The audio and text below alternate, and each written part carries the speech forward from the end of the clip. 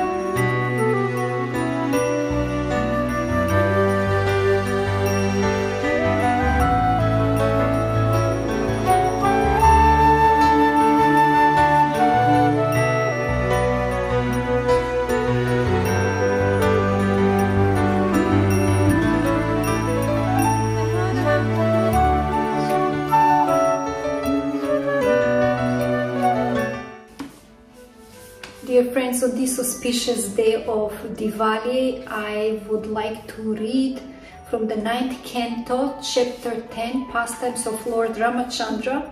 I was just reading now for like 30 minutes about. I want to read you one verse and then um, I have something quite important to tell you and I would like to know your opinion on that matter. But first let's read one verse carrying out the order of his father who was bound by a promise to his wife, Lord Ramachandra left behind his kingdom, opulence, friends, well-wishers, residence and everything else, just as a liberated soul gives up his life and went to the forest with Sita. Okay, one more. While wandering in the forest, where he accepted a life of a hardship, carrying his invincible bow and arrows in his hand, Lord Ramachandra deformed Ravana's sister, who was polluted by lust desires, by cutting off her nose and ears. He also killed her 14,000 Rakshasa friends, headed by Kara, Trishira, and Dushana. So, Jai Srimad Bhagavatam Ki Jai. So my dear friends, while I was shooting this video at around 7 o'clock, which is actually um, 11.30 Indian time, a friend of mine who is a foreigner but has been living in India for almost two decades, almost one and a half decade, in uh, a place, one place in India, and she was actually very much disturbed uh, about the way Indian people are celebrating Diwali. Of course, you know, I'm a foreigner and I love India immensely. She's a foreigner, she loves India immensely, otherwise she would not be living in India so long there. So her uh, concerns were about the way Indian people are celebrating Diwali, especially about the firecrackers which actually increases the pollution so much. Statistically, it is said that uh, I, don't know, I, I, would have to now do research, but she just called me, we finished talking like half an hour ago, so I don't have so much time to do the research, but the point is that we are very much aware that the pollution rises God knows how many times uh, during these three days of uh, Diwali festivities.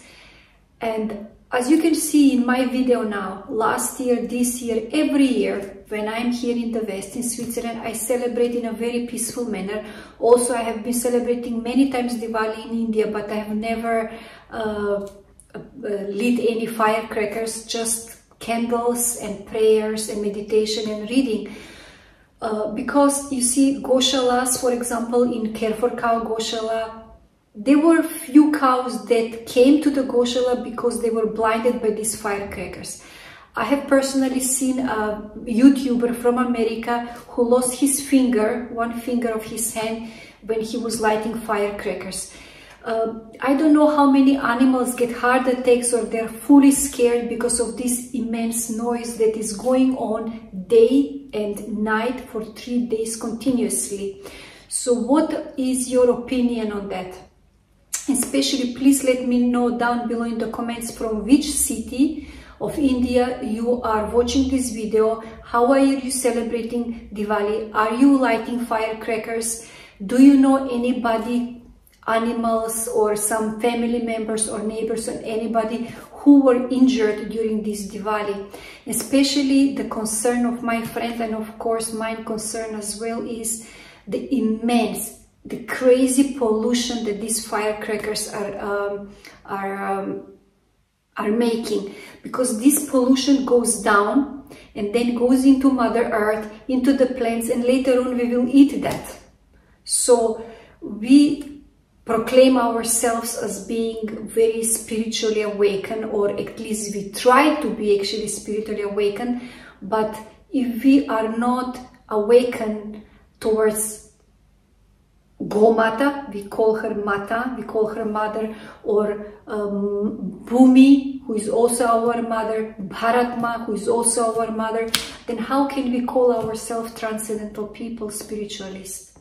Please, I really, genuinely, I am um, very curious to know what is your opinion on this subject of how we celebrate Diwali. This morning, for example, randomly came one video of one person. I don't know if he was a professor or what kind of researcher he is, but he was saying in I don't know which scriptures it is said that before Diwali we offer uh, uh, prayers to the uh, our like people who have passed away, and then I guess on this day or something, they are returning back uh, to heaven, but they have lost their way and these fireworks help them light the way and find their way to heaven. Something like that was the video about. But can we not, okay, if this is true, okay, fine, but can we not at least uh, make it less like if each person lights 10 firecrackers, can we not do one at least? Something like that. What is your opinion? And I'm sorry that uh, this was not scripted. I'm just speaking from my mind.